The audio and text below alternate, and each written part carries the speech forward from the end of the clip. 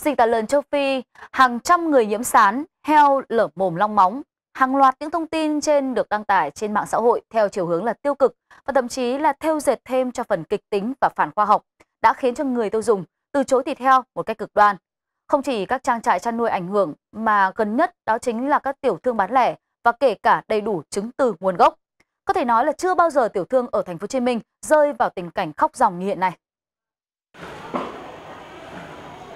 Thưa quý vị và các bạn, dịch tả lợn châu Phi thì xảy ra ở các tỉnh phía Bắc nước ta. Tuy nhiên, à, gần 40 quầy thịt tại à, chợ Phú Lâm, thành phố Hồ Chí Minh lại rơi vào tình trạng ế ẩm.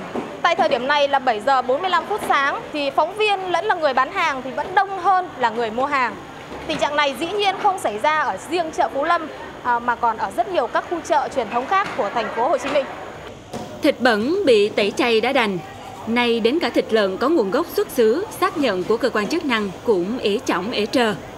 Sự cảnh giác theo xu hướng giết nhầm còn hơn bỏ sót, đẩy những sạp hàng vào cảnh bì đắt. Trời ăn thịt heo chết, ăn thịt heo chết. Mà mình nói trời ơi, heo tôi hả có nguồn gốc đàng hoàng. Rồi mạng xã hội nó cứ nói á, thịt heo nè, em hỏi hỏi em chứ con lãi ở đâu mà nằm đây mà kéo từ con ra. Em nghĩ đi. Nó nói lãi kéo dài ra vậy nè Trời đất ơi, nổi điên lên luôn. Cái tin đồn quá rồi bắt đầu họ không dám đi chợ luôn á.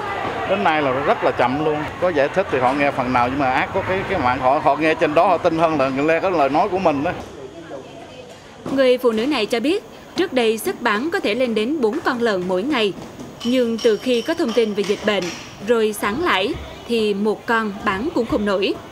Tình hình không khác với thịt lợn lấy từ các thương hiệu hoặc có cả tem truy xuất nguồn gốc.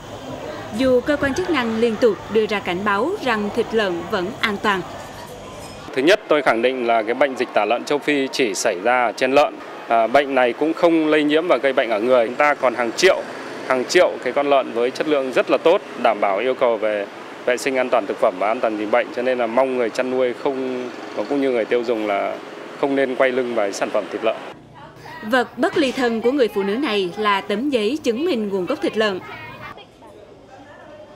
Thời điểm này, ngoài bán thịt lợn, họ còn kiêm luôn việc giải thích về nguồn gốc và chất lượng của thịt.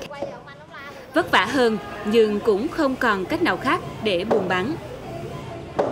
Có giấy nguồn gốc đàng hoàng hết. Người dân thì cũng vậy thôi, tại vì nhà mình là bán uy tín nào giờ rồi khi mà chưa có dịch tả châu phi chợ nó đã vắng rồi cũng đã vắng rồi. Bây giờ thêm cái dịch tả châu phi nó còn vắng nữa. Ta không ăn luôn người ta rất là sợ.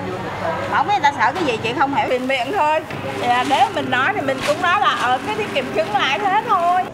Tẩy chay thực phẩm bẩn cũng là cách để bảo vệ bữa ăn và sức khỏe con người.